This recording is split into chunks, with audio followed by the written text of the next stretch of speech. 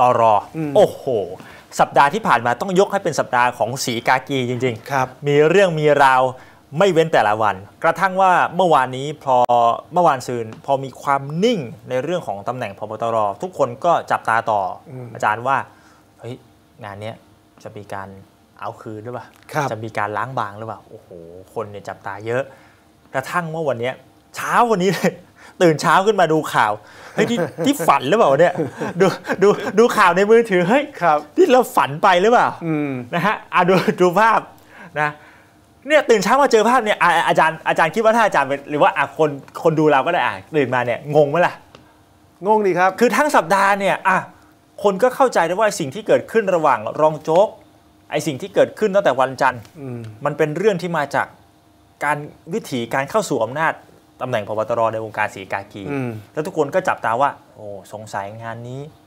รองโจ๊กหนักนะอืมปรากฏมาถึงเช้าวันเนี้ยอะเนี่ยเจอภาพเนี่ยกอดคอกันเสร็จจับเรียบร้อย ไม่ไม่ใช่กอดคอไอ้ยอบกอดโอบเอลเอวโอบเอลกอดเอวโอบเอลระหว่างคือพลคุณตำรวจเอกสุรเชษฐ์หักพานกับพลตำรวจเอกต่อศักดิ์สุขวิมลว่าที่พบตร ใช่คือคือการอบเอวนี่ก็น่าสนใจนะ ถ้าเราเป็นสายไปวิเคราะห์ body movement เนี่ยนะ คุณโจ๊กเอามือซ้ายไปอบเอว คุณต่อสักดิ์แล้วก็เอามือขวาไปจับเอวอีกรอบหนึ่งต่ออีกเออคือเป็นการอบเอวแบบที่ระดับแฟนยังไม่โอบกันขนาดนี้เลยนะอ่าคือคนเป็นแฟนกันอย่างมากคือมือซ้ายโอบนะอ่าแต่ไม่ถึงขั้นเอามือขวาดึงเอวด้วยอ่าอันนี้โอบไม่พอแต่ดึงมาให้แน่นอีกอ่าแฟนยังไม่โอบขนาดนี้อะอืมอาจารย์รู้ได้ไงว่าแฟนไม่โอบขนาดนี้ ไม่อะผมว่าคนจะเป็นโอบเอวกันก็คืออย่างมากคือโอบด้วยข้างซ้ายแต่ไม่ถึงขั้นมือขวาดึงมา อันเนี้ยอันเนี้ยรักกันมากกว่าคนเป็นแฟนอีกไงอ่า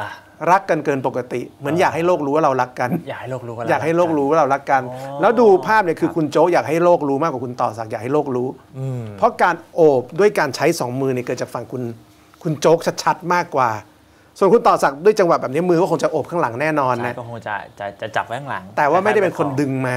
อืมทั้งหมดในยคุณโจ๊กเป็นคนดึงมาอืมก็แปลว่าคุณโจ๊กต้องการสงบศึกแล้วนี่ นี่รองโจ๊กเขาไปหาที่ใช่ที่ออฟฟิศใช่รองเอ้ยผบนะใช่ไปหาที่เนี่ยที่คอมมานโดเอ่อเขาเรียกอะไรคอมมานโดคอมมานโดเนี่ยที่อืมเมืองทองเนี่ยเป็นใช่ฐานที่เอ่อเป็น safe house เขาเนี่ยครับนะฮะแล้วบอกว่าบรรยากาศชื่นมื่นนะ ใช้เวลาคุยกันประมาณ 1 ชั่วโมงครับ กินข้าวอืมบรรยากาศหวานชื่น นี่อืมจบแบบหวานเจี๊ยบเลยว่ะ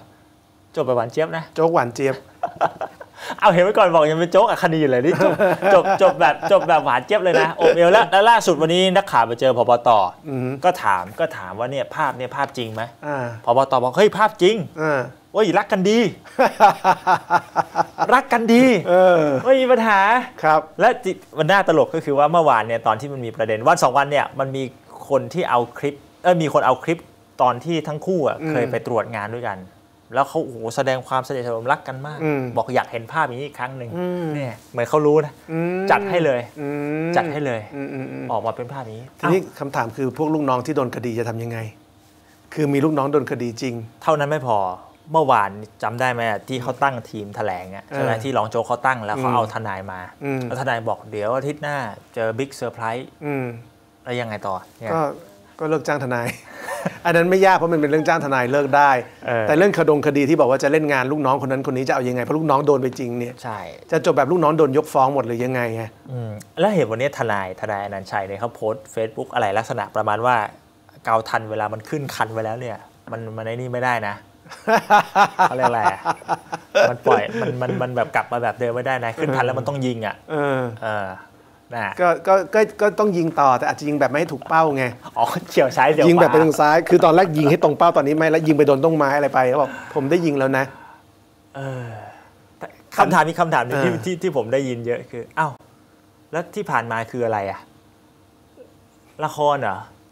หรือยังไงแล้วจะให้ประชาชนคิดยังไงกับสิ่งที่เกิดขึ้น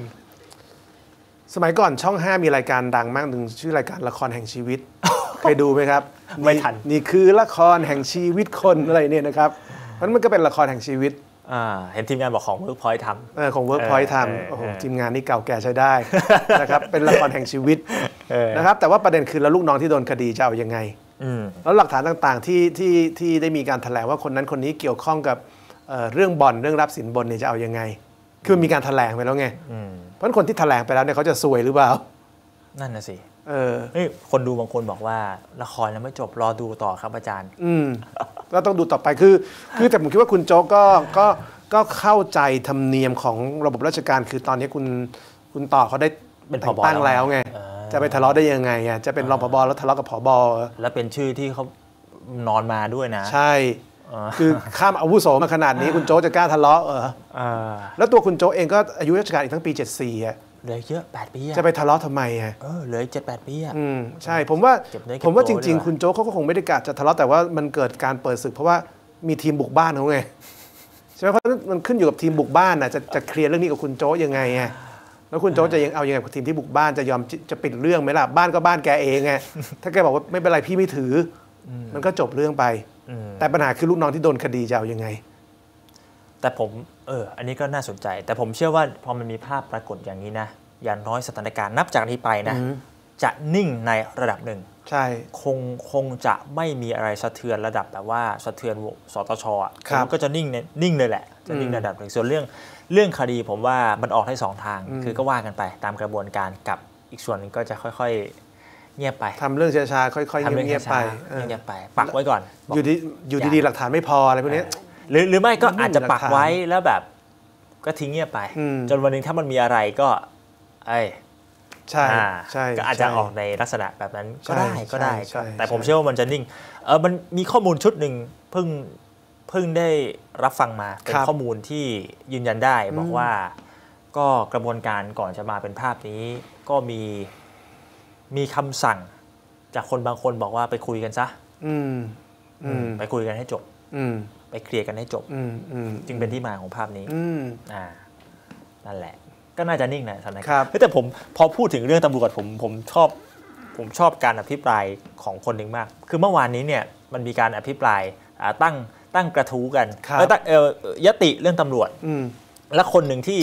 ที่ขออภิปรายเรื่องนี้ด้วยก็คือ คุณเท่าพิภพลิมจิตรกรอืมอืมอืมสสกรุงเทพก้าวไกลอืมคุณคุณเท่าพิภพบอกว่าเนี่ยประเด็นของพลตำรวจเอกต่อศักดิ์เนี่ยไม่เป็นไปตามระเบียบและกฎหมาย เพราะว่าไม่ใช่บุคคลที่มีความอาวุโสสูงสุดอืมซึ่งหากพิจารณาตามความอาวุโสเนี่ยก็พบว่าพลตำรวจเอกรอยเนี่ยมีความอาวุโสสูงอืมนะอายุจากผู้กำกับเอ่ออายุงานจากผู้กำกับจนถึงรองผบเนี่ย21ปี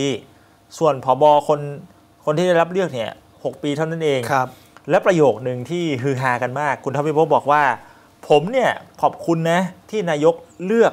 พลตำรวจเอกต่อศักดิ์อืมเพราะเท่ากับว่านั่นในอีกนัยยะหนึ่งคือจะเป็นความหวังของตำรวจชั้นผู้น้อย อย่างยิ่งว่าวันหนึ่งจะสามารถเจริญเติบโตในหน้าที่การงานได้ไวขนาดนี้ คุณทวิภพอืมมองมุ่งกลับเลยอืมอะนี่แสดงว่าชั้นผู้น้อยก็หวังได้แล้วนะอืมเนี่ยคุณรอยอาวุโส 21 ปีครับคุณต่อศักดิ์อาวุโส 6 ปี ถ้านับตำแหน่งจาก ผู้กำกับจนถึงรองผบนี่เป็นความหวังของสำนักงานตำรวจแห่งชาติเลยว่าต่อไป โอ้ ผมว่าถ้าคิดแบบท่าพิภพเนี่ยนะ ในฐานะผมเป็น จบปริญญาตรีธรรมศาสตร์ผมก็ต้องก็ต้องเป็นความหวังคนเรียนธรรมศาสตร์ด้วยเหมือนกันนะ สิงห์แดง คุณไม่ต้องจบในร้อยตำรวจก็จะสามารถเป็นผู้บัญชาการตำรวจแห่งชาติได้แล้ว เออคุณจบรัฐศาสตร์ เออแล้วก็คุณเคยไปทำหน้าทำงานเป็นขายเซลล์เซลล์ขายอะไรมาก่อนเนี่ยยู่ในบริษัทน้ำมันเนี่ย คุณก็สามารถจะเป็นผู้บัญชาการตำรวจแห่งชาติได้แสดงว่าสำนักงานตำรวจแห่งชาติยุคนี้เปิดกว้างกว้างนะ มากขึ้นเออเอ่อไม่ได้ยึดติดกับกับการต้องจบแต่ในร้อยแล้วเออ นะครับถือว่าเป็นสัญญาณที่ดี นี่มองมุมบวกมากมองเลยนะมุมบวกนะครับไม่จำเป็นต้องจบในร้อยแล้วก็อายุราชการไม่ใช่ประเด็นสำคัญ ถ้าคุณเป็นคนเก่ง ถ้าคุณเป็นคนมีความสามารถ อายุราชการไม่มีความหมายอืมแต่ประเด็นคือรัฐธรรมนูญมันเขียนไว้ว่าต้องดูอายุราชการใช่มันต้องไปเคลียร์กันในรัฐธรรมนูญว่าจะเอาไง หาทางแก้รัฐธรรมนูญซะแต่ไปหาทางแก้รัฐธรรมนูญซะแต่เมื่อวานอ่าเพิ่งได้คุยกับกับอดีตนายตำรวจอยู่ก้าวไกลเดี๋ยวเดี๋ยวค่อยเสาวชิดคงได้ฟังกันเขาครับบอกว่าเขาก็พูดมาประโยคนึงบอกว่าเอ่อ ในในตำแหน่งพบตรเนี่ยนะนับจากเอ่อท่านต่อศักดิ์ไปหลังจากนี้เนี่ยฝ่ายการเมืองจะไม่กล้ามายุ่งอืมจะไม่กล้ามาล้วงลูกครับ ในช่วงระยะจากนี้ไปอืมอืมอืมอืมเนี่ยเขามองอย่างนี้ในวงการตำรวจจะนิ่งขึ้นอืมอืมอืมอืมดูคลิปจบแล้วอย่าลืมกดติดตาม และสมัครสมาชิก YouTube มติชนทีวีเพียงแค่สแกน QR Code ได้เลยครับ